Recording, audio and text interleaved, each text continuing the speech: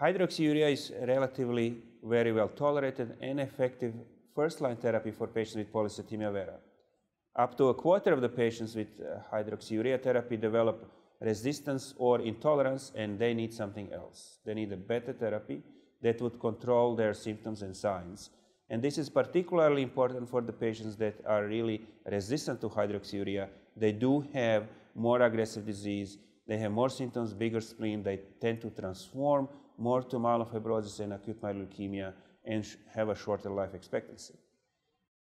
There are not too many options. Interferon is one of the options, but it does not work in many patients. It does cause many side effects.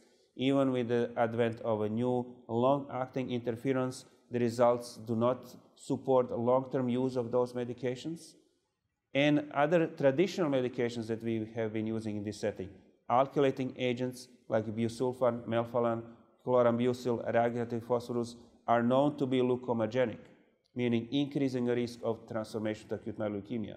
So there was a clear need for a new drug that would be developed that is safe and perhaps biologically targeting what is abnormal in PV.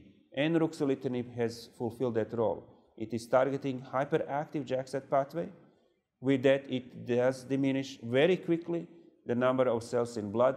It does diminish very quickly the spleen that may be enlarged in these patients. And what I see in my patients, I have treated many patients, quality of life markedly improves within a couple of weeks in many patients that don't have good options.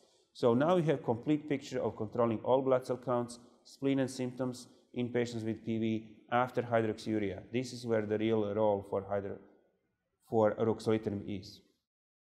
Most patients with polycythemia vera do well. The control or the goal of therapy is to minimize the risk of thrombosis, reduce the risk of cardiovascular cerebrovascular disease. There are those patients who continue to have constitutional symptoms. And the patients that, at least I find in my clinical practice, that are most troubling to manage are patients who develop and complain of night sweats, fevers, pruritus. They can be very difficult to manage, specifically pruritus. Hydroxyurea is not really effective in this, uh, this case. Phlebotomy sometimes makes it worse. And so these are the patients that I'll initiate uh, ruxolitinib therapy. The other patients that I, I, tend to initiate ruxolitinib therapy are those patients who have clear toxicity or side effects from the hydroxyurea. And two are important. One is lower extremity ulcers, and the second is recurrent squamous cell carcinoma of the skin. Both are known risk factors for hydroxyurea therapy. When these develop, I stop the hydroxyurea and switch to ruxolitinib. Recently, I took care of a patient with polycythemia vera that was diagnosed uh, three or four years ago, well-controlled uh, hematocrit on phlebotomy and hydroxyurea, uh, with hydroxyurea dosing in the 1,000 to 1,500 milligrams per day range, but really good control of her uh, disease uh, counts. However, uh, I started noticing that the patient was complaining of progressive fatigue, insomnia due to horrible pruritus, mostly aquagenic pruritus, that is pruritus exacerbated by water exposure, but to the point that she was having difficulty bathing at night and, and just having the sheets uh, on her uh, were having troubles. Uh, and then, you know, horrible night sweats. And so for this patient, I initiated ruxolitinib, and within two to three weeks, night sweats went away, her pruritus resolved, her fatigue improved, she was sleeping better, and it was a, transformation, a transformative event in terms of her quality of life. So that's an example of a patient, although having good control of the hematocrit with best available therapy, we were losing control of her symptoms.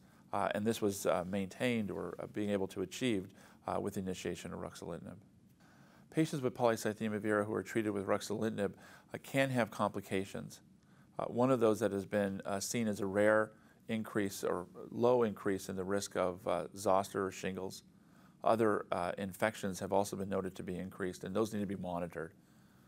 In general, I find ruxolitinib to be well controlled, uh, well tolerated, uh, and you know the only reason that I discontinue therapy with ruxolitinib are when an infection develops, or uh, in a patient who seems to be losing disease response with a rapidly uh, increasing white count or I'm not able to achieve control of the hematocrit. Having said that, in my experience, that's a rare development. The treatment of polycythemia vera is to reduce the risk of thrombosis and cardiovascular toxicity, and that can be done with uh, phlebotomy, low dose aspirin. Uh, it's unclear where and when the initiation of JAK2 inhibition, specifically ruxolitinib, should take place.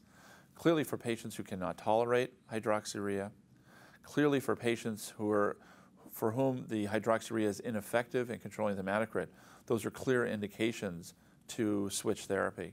But what about patients earlier in the disease course? I think that's a big unknown.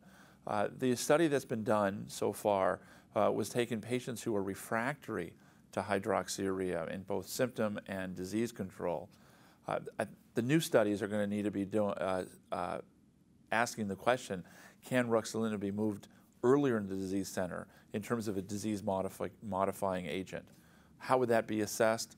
Uh, reduction in the risk of thrombosis, cardiovascular toxicity, cerebrovascular toxicity, and maybe decreased risk of transformation to myelofibrosis and or leukemia.